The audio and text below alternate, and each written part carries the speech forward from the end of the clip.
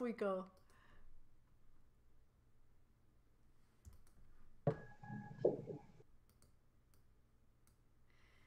Good morning, everybody. Um, welcome to another uh, special SACPA session. Um, SACPA acknowledges that this event takes place on the lands of the Blackfoot people and the Métis Nation of Alberta, Region 3, and we pay respect to their past, present, and future cultural heritage, beliefs, and relationships to the land.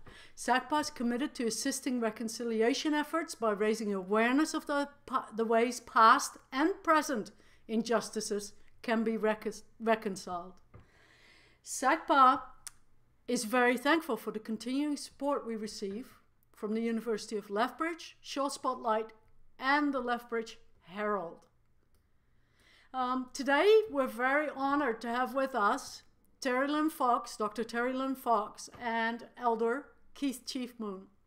Terri-Lynn Fox is a member of the Kainai Nation, which is part of the Blackfoot Confederation. Her academic credentials include a BA of psychology and an MA in sociology and a PhD in education. She is the director of the Kainai Wellness Center, which is one branch of the Blood Tribe Department of Health, located on the Kainai Nation. Elder Keith Chief Moon is a survivor of the Indian residential schools on the Blood Reserve. He was subjected to discrimination and bigotry. Yet, he obtained a high school di diploma from Cardston, a BA and a B.Ed in Native American Studies, and an MA in Education. I want to welcome you both very much uh, for and, and thank you for your time uh, today, and we look forward to your presentation. Thank you. Thank you. Good morning, everyone. Mm. So I can't see. So we're just gonna, going to uh, get started. Um, if all the if the viewers can view the presentation, um, thank you for um, inviting us to share um, our knowledge and experience relating to Indian residential schools, uh, specifically what has occurred in the last month or so regarding the um, children's remains found at one of um, Canada's largest Indian residential schools, Kamloops Indian Band. And I also want to um, discuss um, and bring forward today is National Indigenous Peoples Day um, a, a, day where we celebrate, we honor, we we are um, share our pride and and our love and respect to all across Canada and across Turtle Island. So the the topic today that was um, shared before us was the deadly effects of residential schools in Canada. How is it remediable? you know, and just think about that as we move forward in the presentation. How can it be remediable? Or, or maybe specifically, um, can reconciliation be achieved? By who and in what way? So moving forward, uh, one of the quotes from the, the Missing and Murdered Indigenous Women and Girls National Inquiry uh, that was um, publicized uh, two years ago um, this month. It says if you're not outraged, you're not paying attention, right? So if you're if if your your gut and your psyche isn't riled up by the the underpinnings and and continuous um, unfolding of of the uh, traumas and injustices then there's there's something not quite right, right? So you sh- you should be uh, quite, you know, frankly speaking, you should be outraged as as many Indigenous people are. So I want to kind of give an overview of the Indian residential schools. And I will I will say that uh, my PhD dissertation is on Indian residential schools. So I, I think you chose a pretty good team here to talk about that. Um, So the IRS compensation um, began in the 1990s and kind of the undertones of discussing what was happening in Indian residential schools.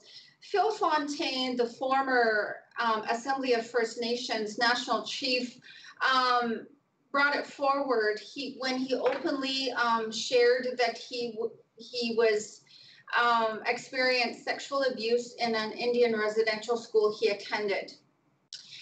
On November 20, 23rd in 2005, an announcement of a $2 billion compensation package was announced, and hundreds of thousands of applications have been filed since then.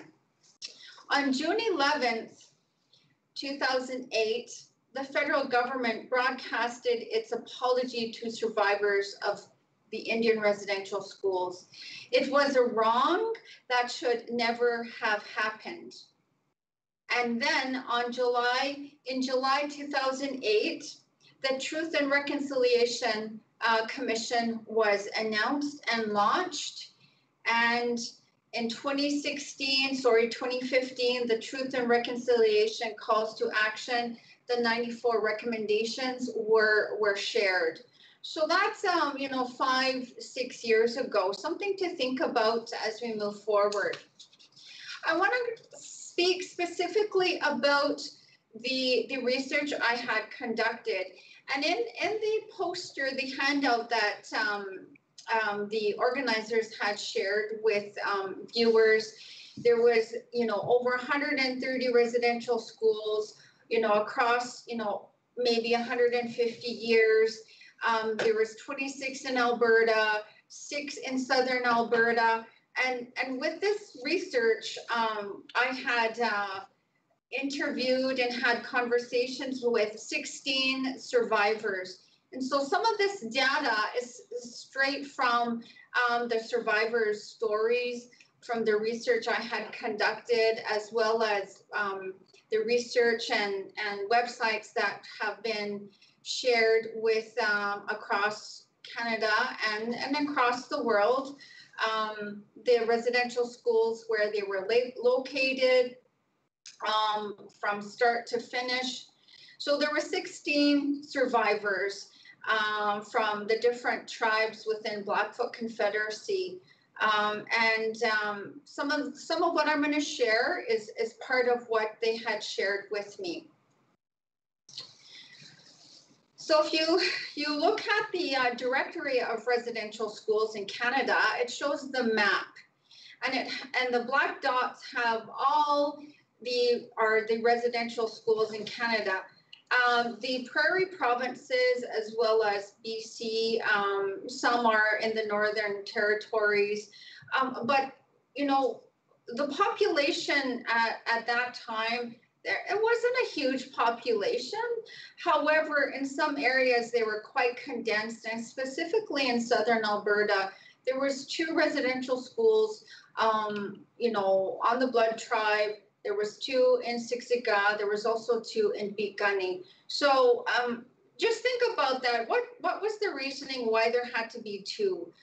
Um, both were um, either the Roman Catholic or the um, Anglican Protestant um, church run. So so think about that again. That the first quote I shared: "If you're not outraged, you're not paying attention." So going on to the next slide where it shows the Alberta residential schools, um, many located in the southern area. But if you look at, um, you know, going across Alberta, um, again, the population wasn't wasn't as large as it is now.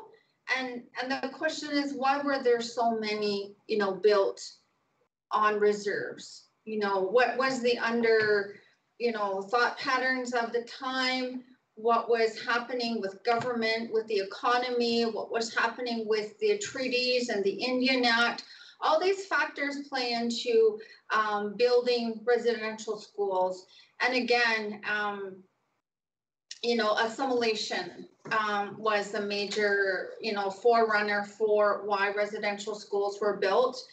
As well as some of the other um, policies that we'll discuss later on in the presentation. So the next slide shows um, the residential schools that um, this specific um, population I interviewed where they attended. So Crowfoot Indian Residential School in Cluny. Um, it closed in 1968. It was opened in 1909. Immaculate Conception Indian Residential School, so that's St. Mary's on the Blood Tribe. So it opened in 1911 and it closed in 1975. It, it doesn't mean it wasn't in operation at housing students that went to day schools because I actually remember when I was in grade four and five, one of my best friends was had to stay at the residential school. Um, her parents had um, unfortunately um, started being they were dependent on alcohol, and so therefore it was safest for her to be at the residential um, site. Um, but um, it was still in operation up until the mid 80s. Old Sun Indian Residential School in, in by Gleichen, that closed in 1971. The Peigan Indian Residential School, that closed in 1965. St. Cyprian Indian Residential School that closed in 1962 and St. Paul's Indian Residential School that closed in 1972. So if you think in terms of one or one, two, or three generations, um, Keith being a survivor, myself being um, one generation away from residential school. Both my parents attended a residential school. I attended Indian day school here on on the Blood Tribe. So it's not it's not um, that I I did I don't know the effects. It was that um, it wasn't talked about because it was such a the the spiritual phenomenon of the the traumas of the experiences of the changes, the rapid changes, language and separation and disconnect. Um, they were felt, um, they're felt through each generation in a different way. And until we begin to acknowledge and admit and heal and move forward, then then those changes can begin to be seen um, on a on a broader perspective. But all Canadians are responsible to be part of that change in a good way.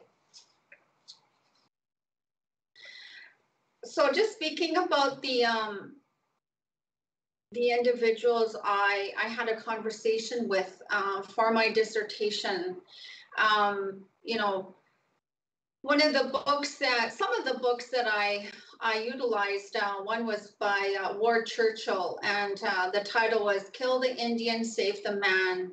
Um, if, if you are, you know, want to learn more, have this sense of understanding and, and want to have a conversation, a really good place to start is reading his history books and reading history books from indigenous authors and and cross-checking your facts, you know, the historical timelines of non-Indigenous authors and Indigenous authors, where do they get their, their stories? Where do they get their facts from? Is it oral tradition or is it government document? So, so then we kind of see the discrepancy and the, the difference um, in historical um, textbooks as well as social studies for children as well as government documents and government um, undertones um, when they're sharing with Canadian population.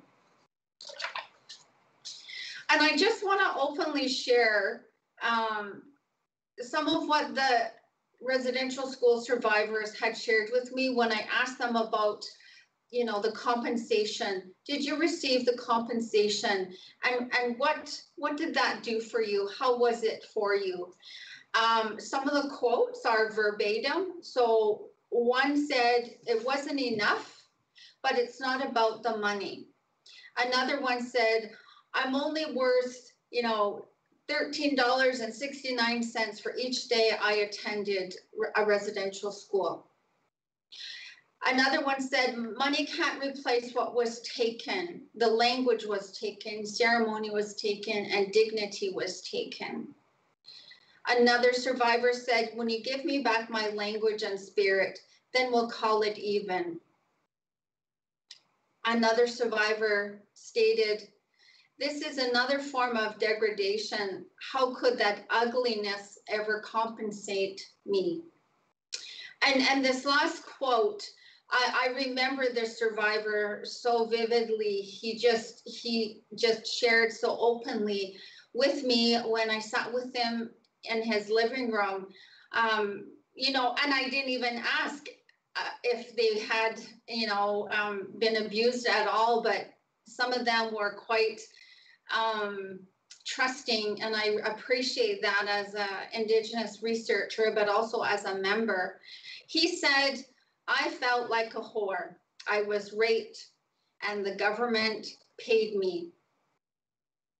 So if you if you can kind of imagine these are adults now, they're elders, they're in their 60s and 70s and 80s, but but those experiences from in a residential school that that they were they were sharing and and I shared with them that when you tell me whatever it is you're going to share with me just know that you're part of the change, you're part of the healing and the awareness. When this dissertation gets, you know, out and into the public, um, we are part of that change. And so I, I want to honor them and thank them for, for being so open and trusting with their stories with me. At the time, um, the Truth and Reconciliation had just been announced. It wasn't really um, in the in the real crux of gaining the data and the information and the stories. And I had asked them, you know, one of the questions. Um, the Canadian government formed the Truth and Reconciliation Commission as part of the Indian Residential School Settlement Agreement to understand how people were affected by the residential school experience. The TRC had a budget of 60 million and was established on June 1st, 2008. At that time, not too much was happening. So they said, I don't know much. I would like to attend a gathering. It's just going to open old wounds. And can you share more information with me? At the time, and this was in 2012 when I did my field work, um, and I'm going to I've shared a link at the end of the this presentation where you could actually um, follow the link, download my dissertation, and you can read further.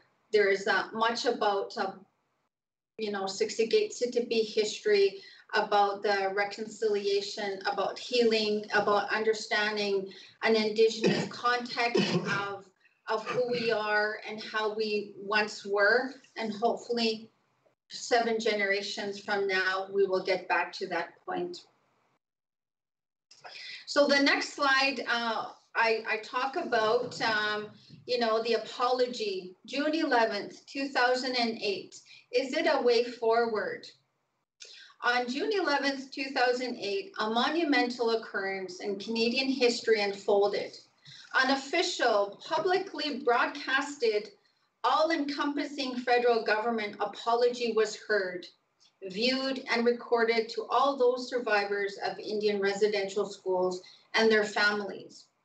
IRS was one of the main policies that was enforced to alter this policy of assimilation, to achieve this policy of assimilation and to civilize the Indian, modification and transformation of young Indian children to learn the European way of life was the way to get rid of the Indian problem.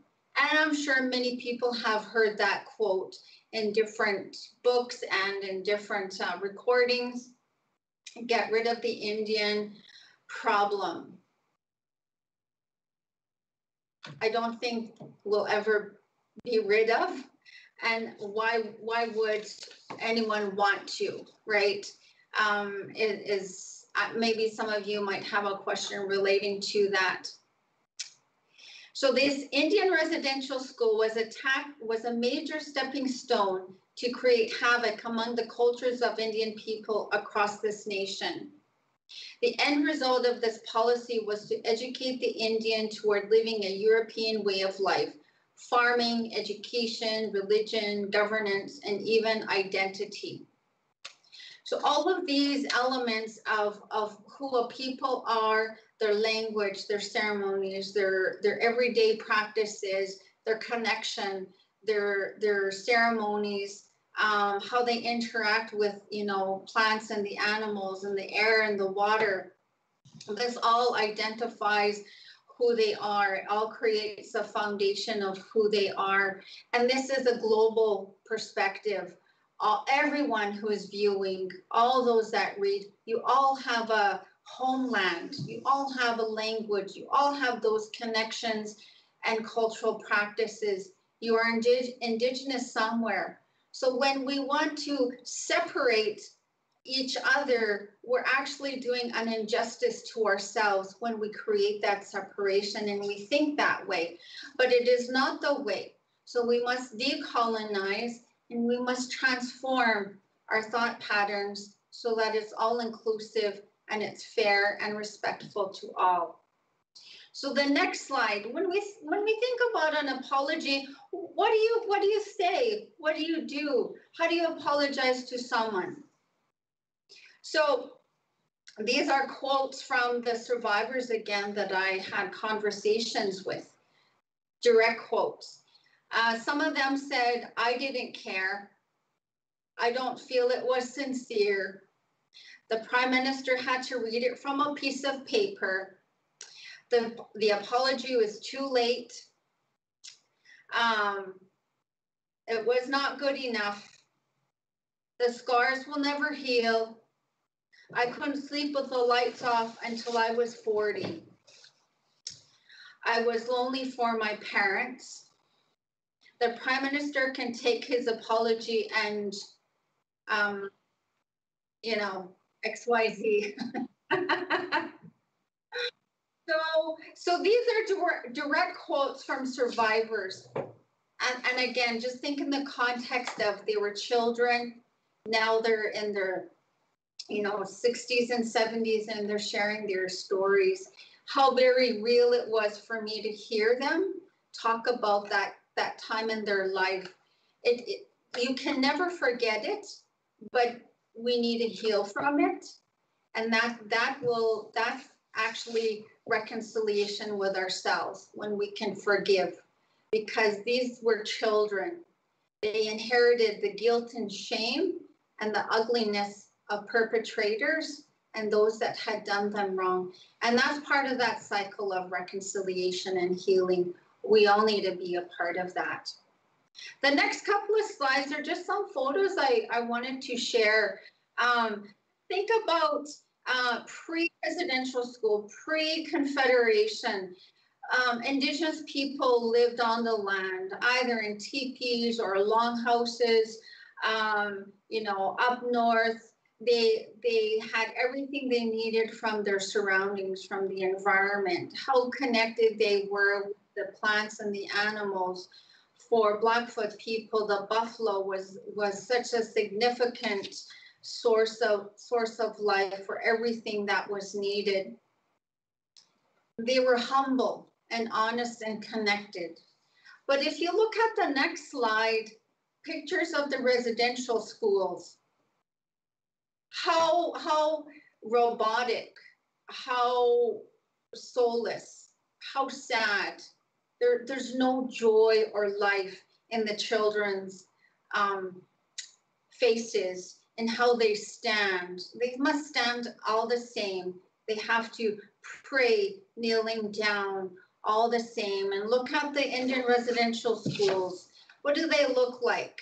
And, and, and I teach sociology. I, I teach a, a chapter in, you know, criminal justice. These look like um, prisons, right? They were, they were prisons for children, if, if I will say that. Um, and and sadly, many didn't go home. Many parents didn't know that they had died at the residential school. Many continue to be incarcerated because that's what they know, that's what they were taught. And so again, we have to open up our mindset. What are we willing to, to let go of? How are we willing to help our fellow fellow Canadians? The next slide shows uh, St. Mary's Indian Residential School, and it was built in 1911 under the authority of the Roman Catholic Church and the missionary oblates of Mary Immaculate. The school was used um, in the IRS system up until 1975. And in 1984, it closed and it burned down in August 2015.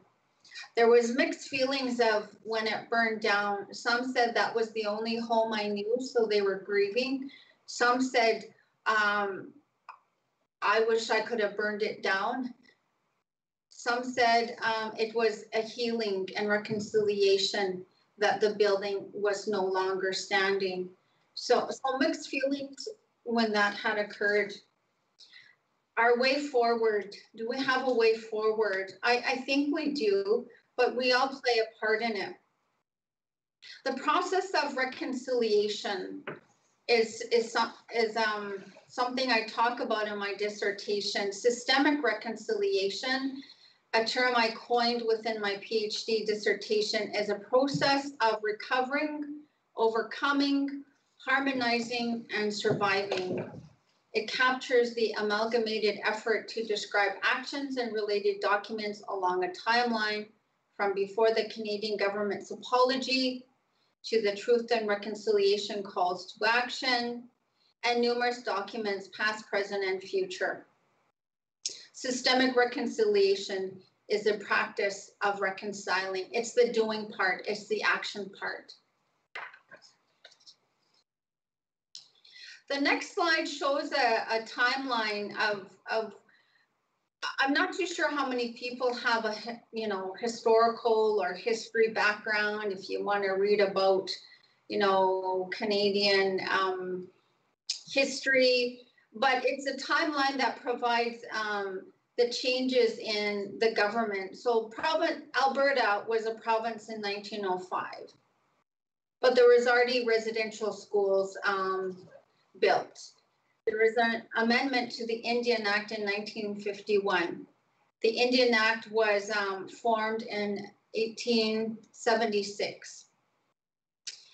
Um, Indians were allowed to vote in 1960.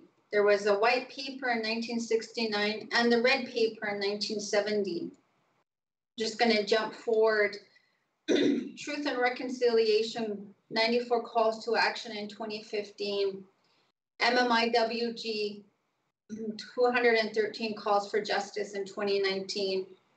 And the remains of Indigenous children found at Kamloops Indian Residential School, 215 and ongoing in 2021. So as you can see, the Indian policy has not been fair to Indigenous people.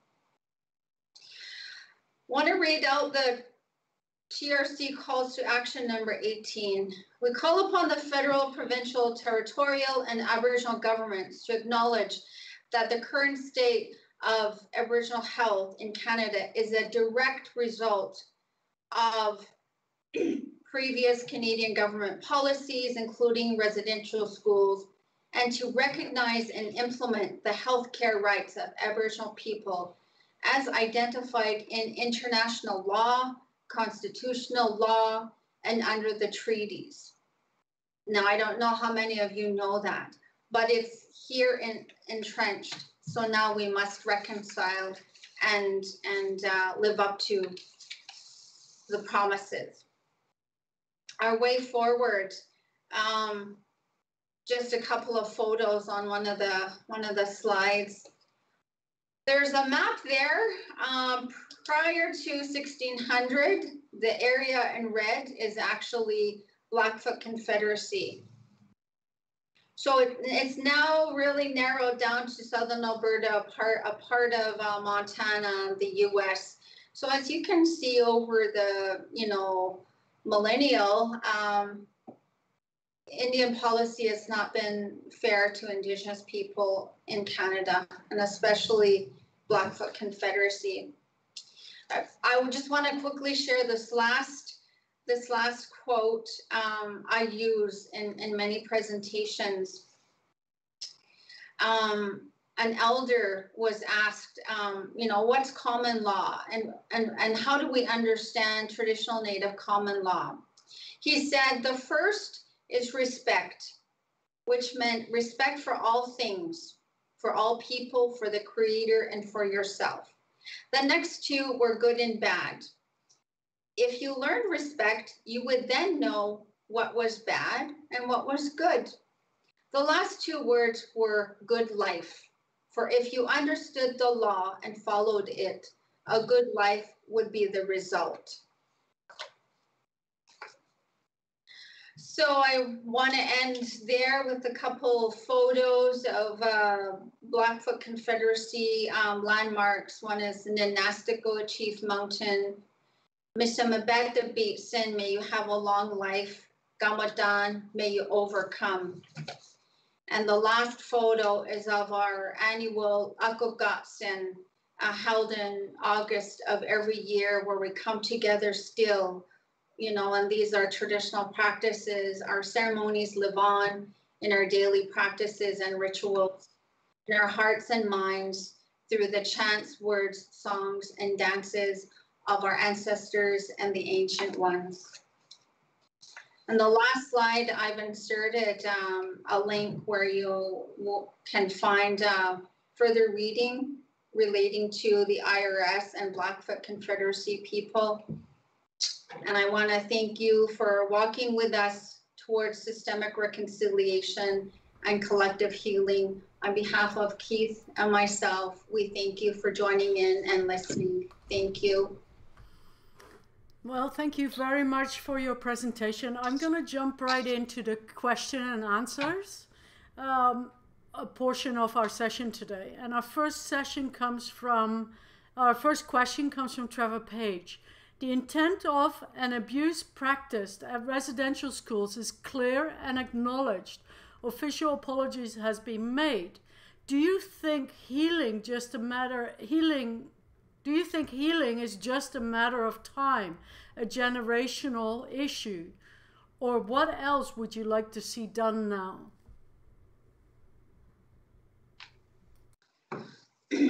Well, as I said, um, I discussed this in my in my dissertation in the first chapter where I talk about systemic reconciliation, and I think um, we have to we have to kind of wipe out the English vocabulary when we want to move forward.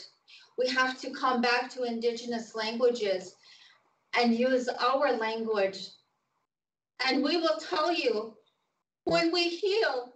We will tell you from our perspective, not from Canadian government or non-Indigenous people. We will tell you when I don't have to um, ask for more money because so many people are dependent on alcohol or opioids or other drugs, when there's no homeless Indigenous people, when there's fair and just um, in our education, in our in our recreation, in our social um, services, then then we can really get there. But until you understand it from our context, that's where the disconnect is.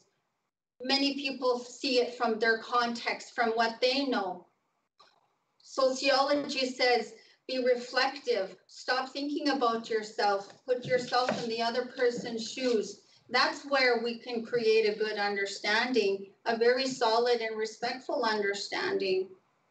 I hope I've answered that question. I don't know if Keith has anything further. I, I just want to add on to it that the, you know with the with the reconciliation that we're we're always putting out forward, and we're always, but there seems to be inferior to for society, they have to respond in a genuine, not in a, just a token way of to, to acknowledge it. Because you, as you look at the historical data you, has been referenced, we were only allowed to vote in 1960. That's that's that's just a short while ago. And just just with some of the with the MMIWG, I had uh, into a, a, a document that, as this is a lawyer, and he said, the justice system hates Indigenous women.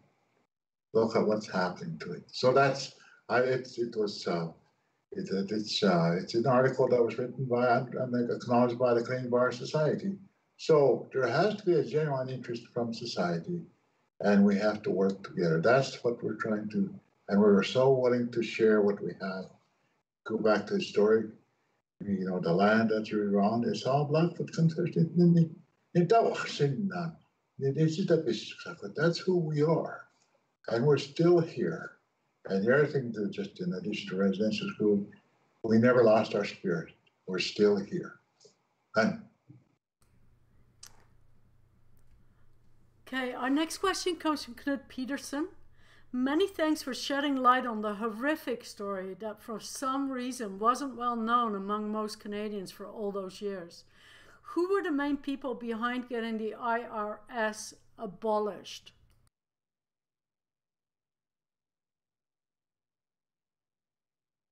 Were the main people? Yes, who were the main people behind getting the IRS abolished? Who was the the movers and shakers to to move the IRS uh, abolishment? Well, it, you must remember that in 1991, the Royal Commission on Aboriginal People developed this commission, and the Canadian government spent two to three hundred million dollars to get answers as to how are we what's out there that's affecting the average. So as as a, I guess it's in a collective way, they went from reservation to reservation across Canada, and the residential school kept coming up. Got to the point there where John Milloy, I think I believe that's his name, he referenced this as a national crime. And he's got there's a book to that effect. Yeah. So that's who I guess in, in in in a roundabout way, when that Royal Commission was established, and then it's been uh, all close to 25 years now that uh, when it was released, and where people are still don't know about it. So, so society has to acknowledge, and it kind of overlaps into our current provincial government, the, the curriculum. He's saying that we don't need to have to ref, reference that. That, that those are those are those hard data that was that was that were recorded for this for this uh, you know for this commission for them to to absorb and see what how are we supposed to get things to improve the lives of average indigenous people so that so the RCAP was was uh, was a start and then that I guess you could say that would be one of the mechanisms that was out there. Mm-hmm. Mm-hmm. Um, there was a lot of recommendations that came out of the TRC and out of the um, also the missing and murdered women reports. It it it seems that these recommendations, where are we in terms of implementing these recommendations? Have any of them been implemented? Are we moving along, or was this just a lot of hype and no action, right?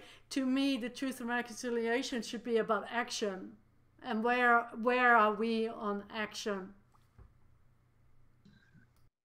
So I I think um, I think if you go to any reserve, any First Nations reserve, you will see the action.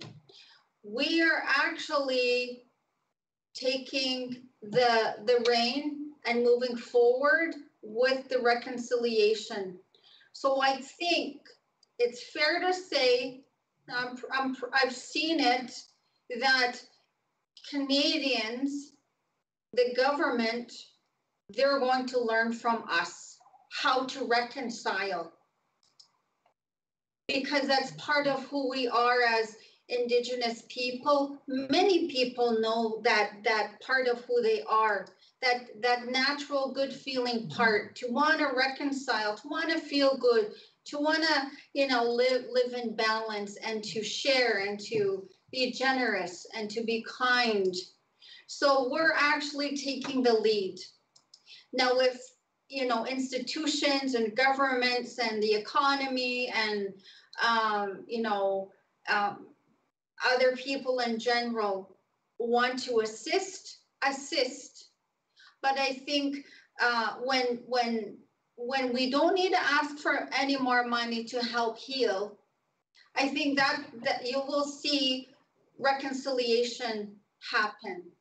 But until that happens, you won't really see it in off reserve. You're going to see it in the communities. You're going to hear it from Indigenous people themselves. They have to reconcile with that with that guilt and shame and, and the violence and, and the homelessness and the hopelessness. They're going to awaken and they're going to come out of come out of the trauma and they're going to heal.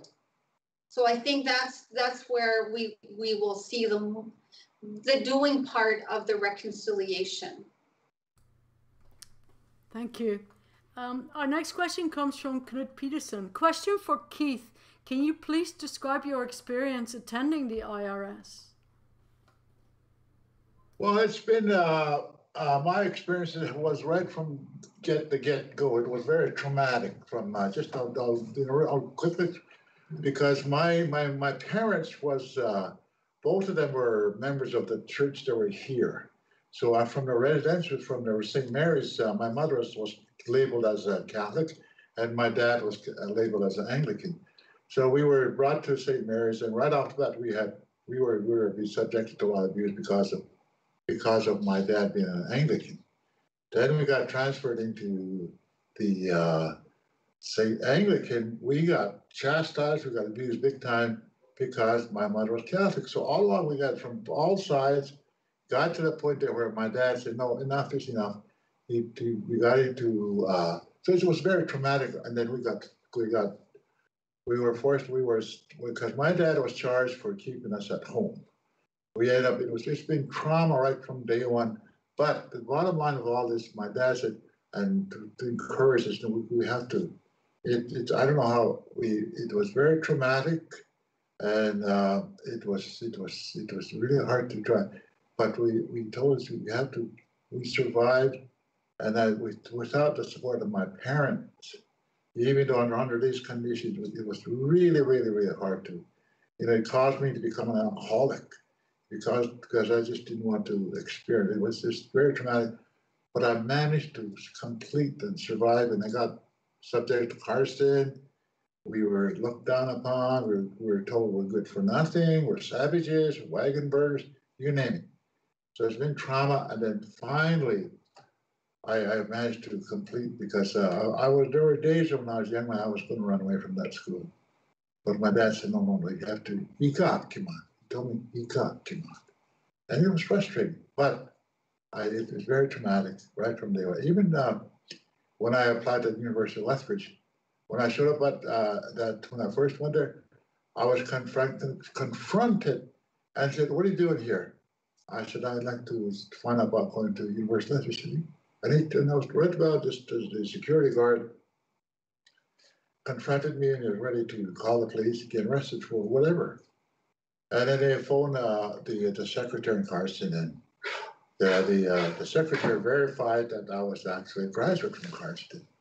So it's been tra- traumatic, and I was one of the first ones that was that attended the U of L, and uh, it was it's been traumatic, and George, it's, it's been it's been a challenge, and then I that caused me to come again. I got I got I got uh, was affected by the uh, the, the the alcohol and drugs, and right. But then, if it hadn't been for the spiritual guidance of one of my uh, elderly grandmothers. She can, she's already passed on, but she confronted me and said, Tsiki, stami croato, stop us. And from that day on, I, I heeded her. So it's been tra- traumatic. It was not easy. It was, and it still is. We're still trying to, even in the fact that uh, when I did get my high school diploma, I went from door to store to store, thought I could would hire me. He said, no, we don't hire Indians in carts. And that's, I just right next door. So just doing that, that's your, what happened. Very traumatic. Thank you for listening. And Thank you for sharing. Thank you. Ian Hurdle, the next question is from Ian Hurdle. 55 years ago, when I was working in the Northwest Territories, the average Indigenous A education was grade 5. Dr. Tailfeathers just noted an eighth Kainai accepted to medical school. Will education help the healing?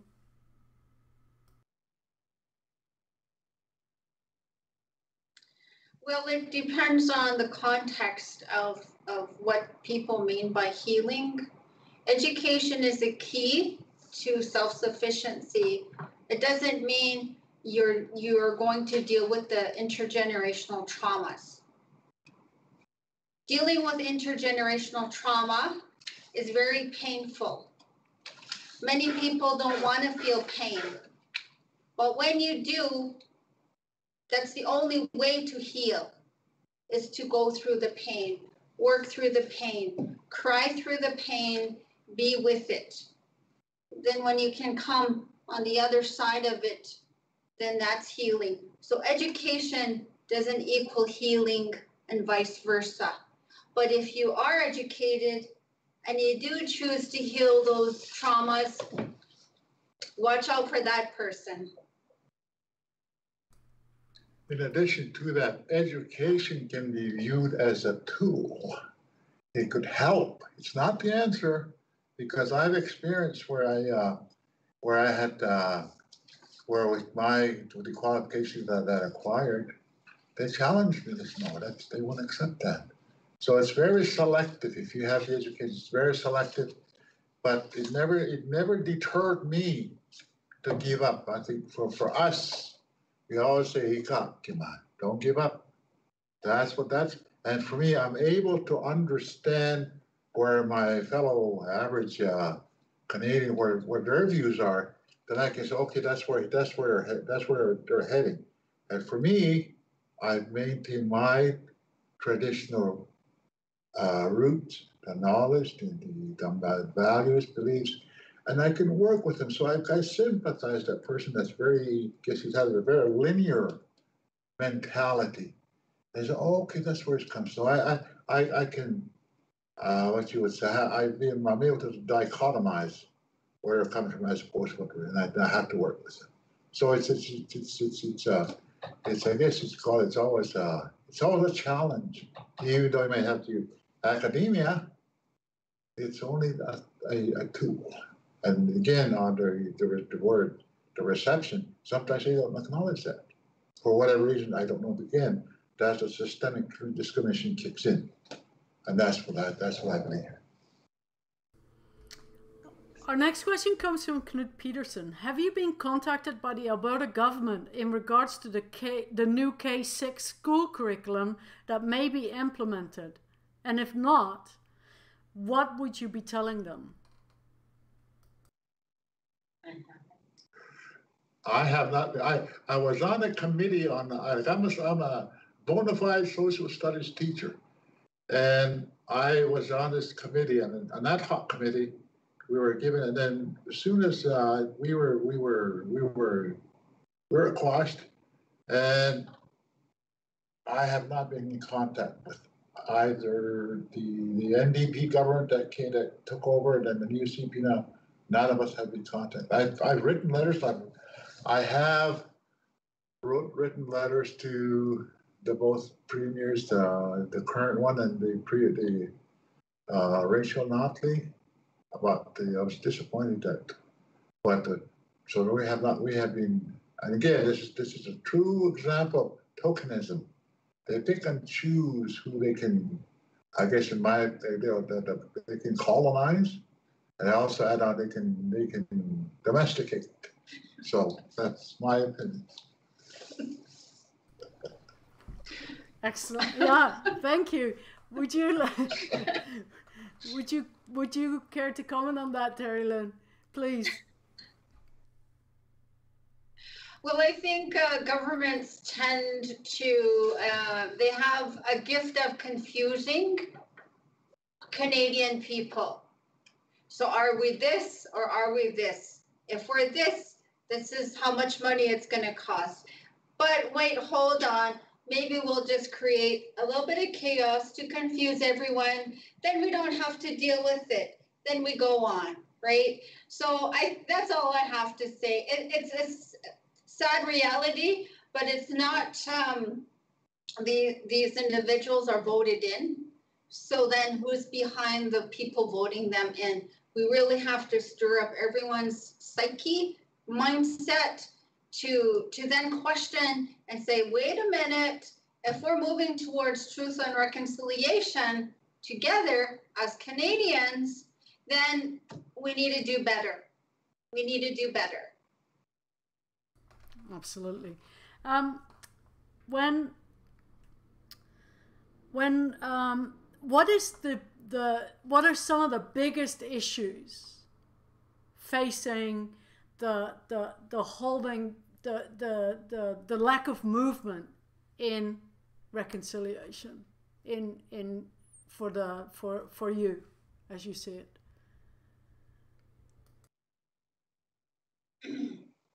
I, I think um, maybe personal, but also just a professional perspective.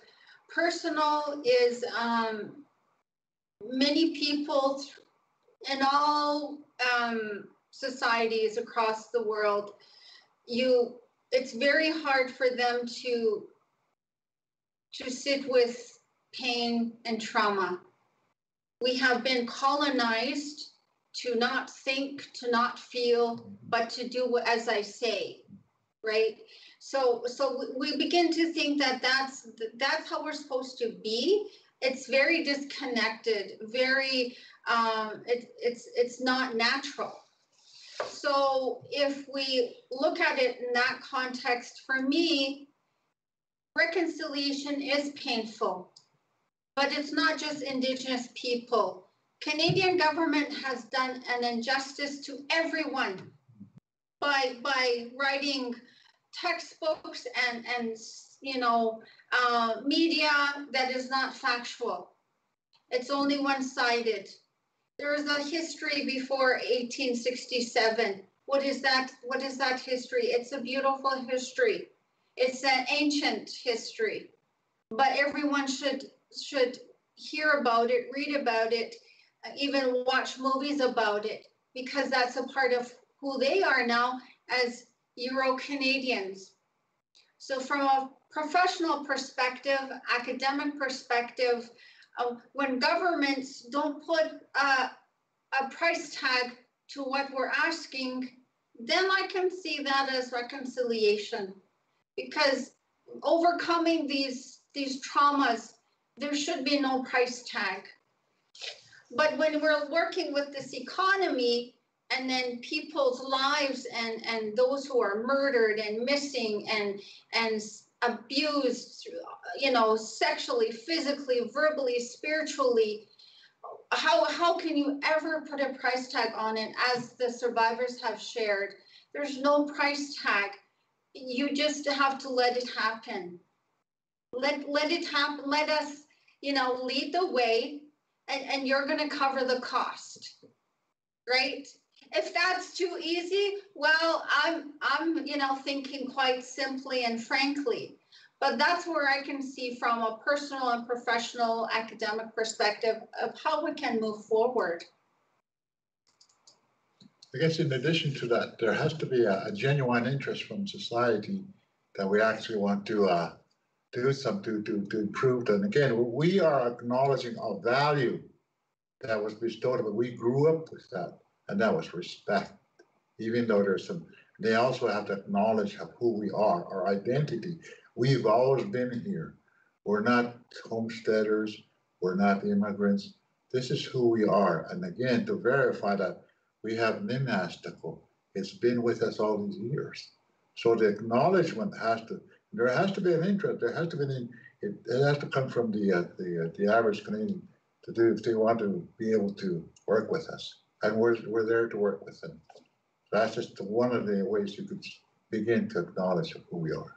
And Thank you. Our next question comes from Claude Peterson. Language is a huge part of anyone's culture. Is it alive and well in the Kainai Nation, in the Kainai Nation? Well, the language is thing That's a word we say, that's our language. And we call our state, we call it Nitsi, was it's the truth speaking people or the original people language. Nitsi people, and mean true and the people. So the language, that was the first thing they uh, they uh, they uh, they attacked. Again, on the residential school, the other thing to do is is our identity. I've, there's some articles from the uh, from the RCAP where they brought where the kid where the children were brought into school and they cut their hair off, and they told this young man just, they said, "Okay, you're no longer an Indian," and and because we have a connection of our appearance, our hair, the young man was just just devastated because we have that connection. So the language was the was the uh, was the I guess was the focal point to for us to become assimilated, and that's they really really worked hard on that. But we didn't lose it. We just misplaced it, or just re, rejuvenating the language, which is good. We haven't lost our spirit. We're still here. We're not going to a place. We're going to stay here.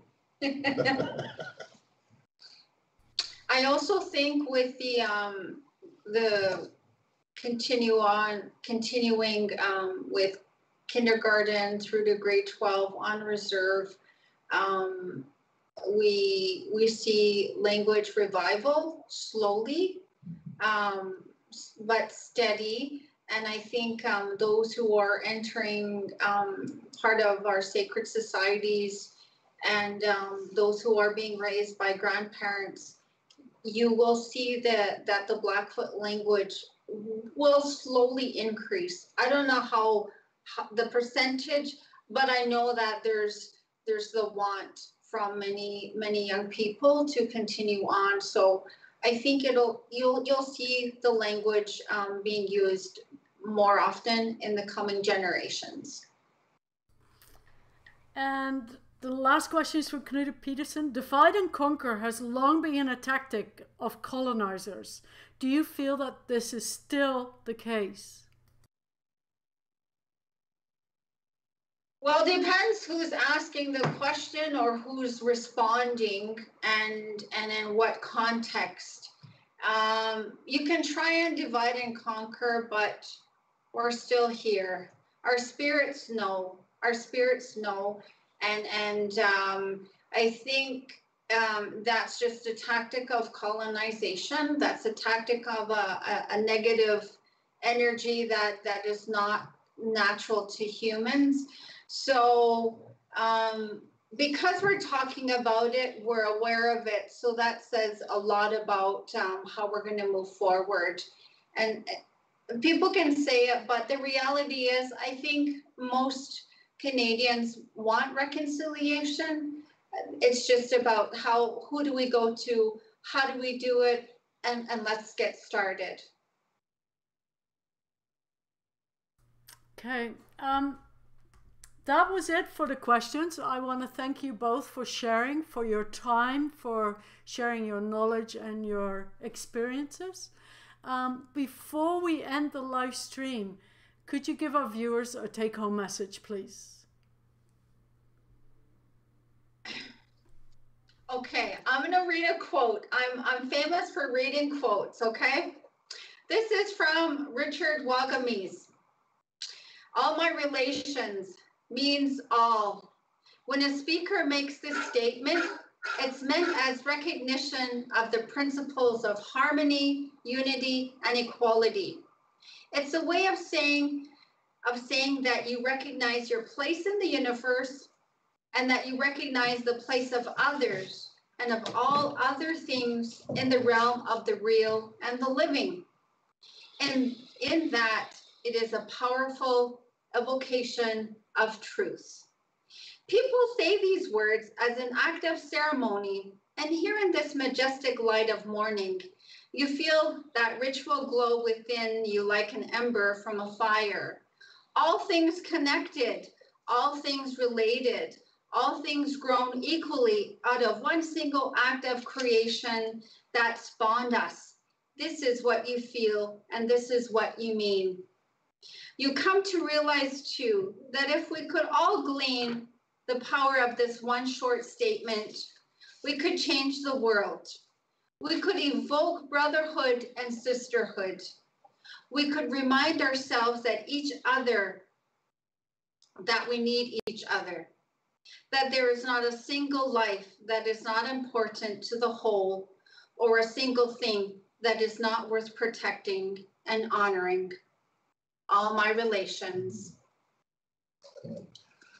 Just in addition to that, this comment that uh, from for myself is just to to to first of all thank you for taking the time for us to allow us to be a part of this uh, this presentation, and also want to encourage those who are who are listening is that uh, to take the time to realize that we are human beings, we're not savages We've always been here. We're here with, uh, with uh, we follow the traditions of our teachings. And when you see the sun rising in the in the east eastern horizon, the teachings that we we share with him is to be the, the rays of the sun is to be able to treat everybody alike. And then you have days like the, the, the rain, the snow, but that doesn't stop us from going to making your journey to the other side of the on the west side for your. So those are the teachings for, and again, into to, in a nutshell, I just want to say, Ikakimak. Don't give up. We want, we want, we want to have a good life. Everybody is everybody wants to have a good life, and that's what we're trying to do. And I just want to thank you for taking the time to allow us to be a part of this process. Thank you. I'm Nick. Thank you so much. Um, and for um, everybody who's tuning in today, join us on Thursday for an educator's perspective of, of Alberta's proposed draft curriculum with Cam Rogers and Kelly Freewin. Um, thank you very much.